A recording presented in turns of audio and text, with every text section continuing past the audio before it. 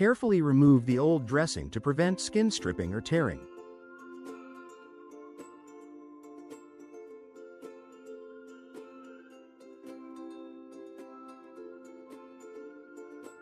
Discard the dressing in the appropriate receptacle. Remove the stabilization device.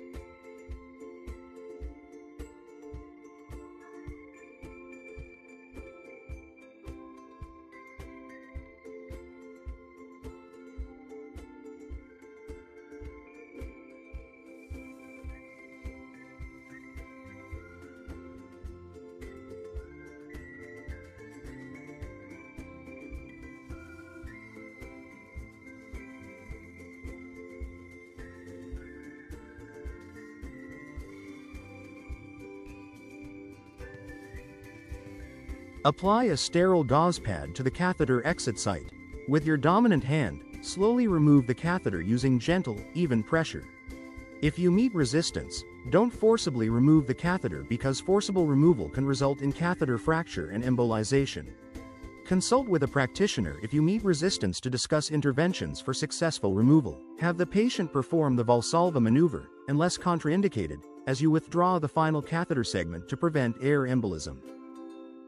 Apply immediate pressure to the exit site with the sterile gauze pad until hemostasis is achieved, a minimum of 30 seconds.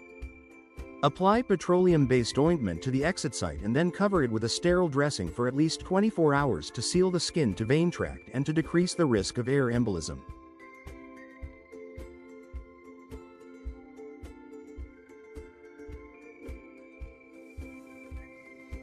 Place the catheter on the fluid impermeable pad and inspect the catheter tip and measure the length of the catheter to ensure that the catheter has been removed completely. If you suspect that the catheter hasn't been removed completely, notify the practitioner immediately and monitor the patient for signs of distress. Thank you for watching. If you found this video helpful, give it a thumbs up, share it with your friends, and subscribe to our channel for more medical education. We're always creating new content to help you learn and stay informed. See you in the next training, and take care until then.